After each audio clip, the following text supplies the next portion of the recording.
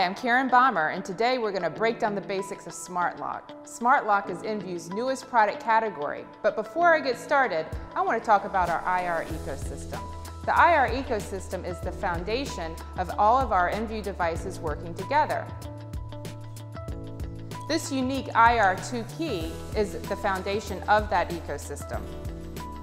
There's several lights in this key, and the key has a power and a unique code. But the key doesn't work only by itself. We have a charger. The charger can hold up to four keys at one time. The unique code is assigned to the key when you place it in our programming station and press a button. And if you notice, that red circle moved to a blue circle. And that blue circle means that key is uniquely coded to that store or even down to that department.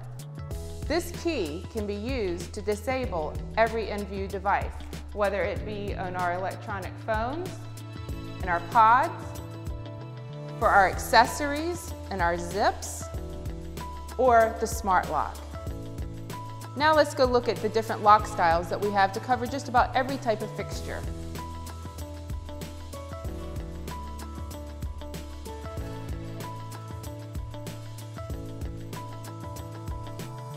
So now let's talk about the different styles of smart lock. We offer seven different locks to go across three main categories of cabinets.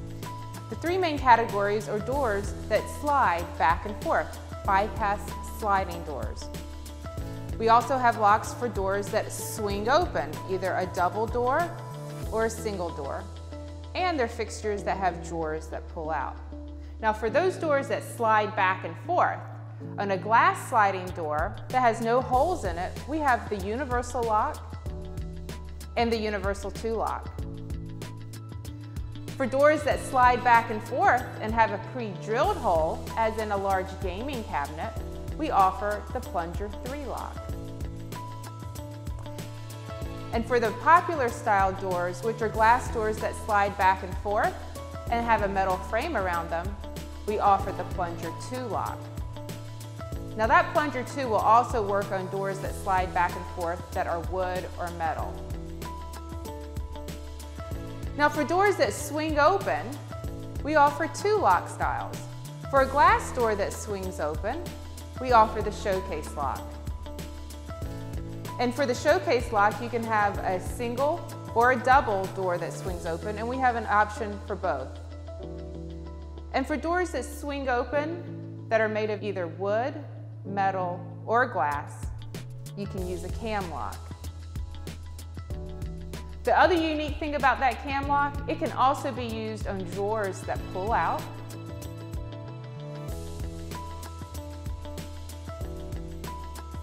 And then we also offer a specific drawer lock. That was a direct replacement where an existing mechanical drawer lock fits.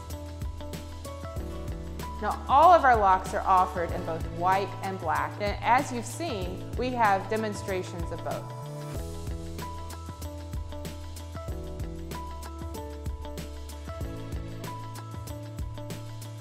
Let's review the different lock states.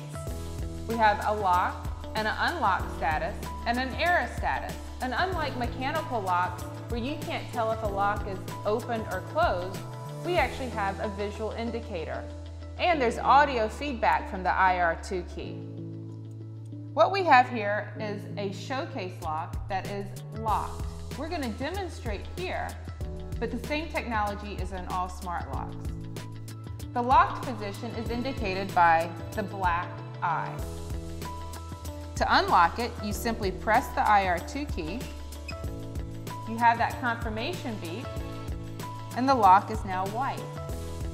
White indicates open. To relock the cabinet, you simply put the lock back into place. You touch the key again. You wait for that confirmation beep from the key, and now it's locked.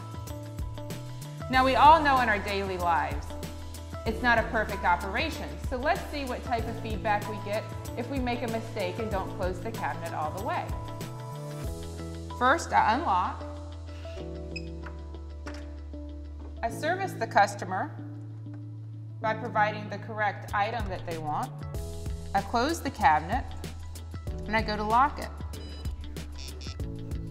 And as we just see, it appears that the cabinet is closed, but in reality, we haven't shut the door all the way. So you have a visual indicator of an error message. This is a mix of both the white and the black marks. Additionally, from the key, you heard an error beep versus that confirmation beep. These two elements together provide the audio and visual feedback that you need to go back and relock the cabinet. To relock the cabinet, you have to first touch the key and make it unlocked so then it, it goes back in the correct position and you simply lock it with the confirmation beep.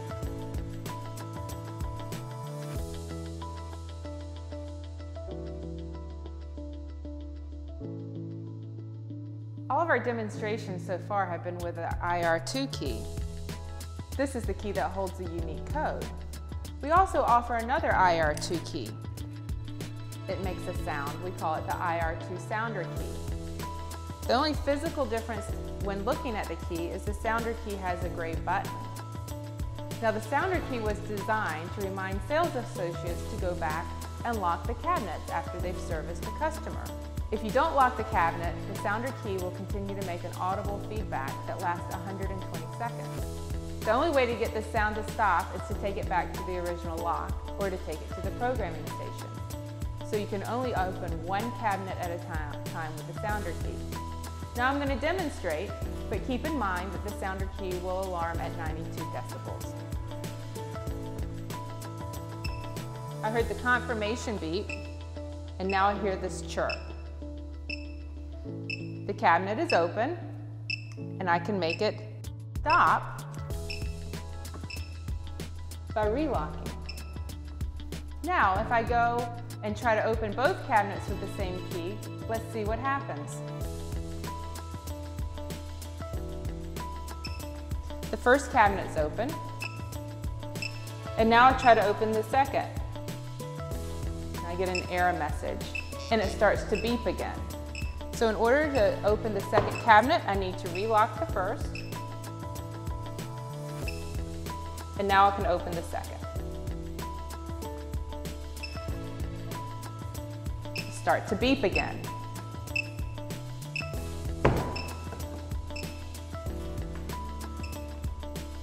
Both the IR2 key and the IR2 sounder key have the same technology, and it's up to the retailer to decide which key they prefer.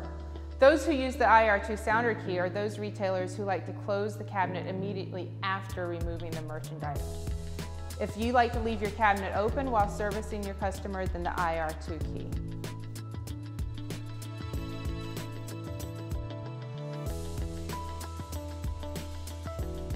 So there are three things I want to mention about the smart lock from a technical performance standpoint. First, the smart lock is as strong as all traditional mechanical locks. The extra added layer of security comes from our IR2 key and the unique program. Second, there's no battery in the lock. All the battery is in the key and the energy is transferred when the key touches the lock and enables the movement. And third, there's no sound that comes out of the lock. All the audio feedback you get is from the key. I think you can appreciate the value of this solution. It looks great, it's easy to install, it's easy to use, and retailers around the world are discovering that it's more than just a lock solution, it's a security solution that is enabling associate productivity.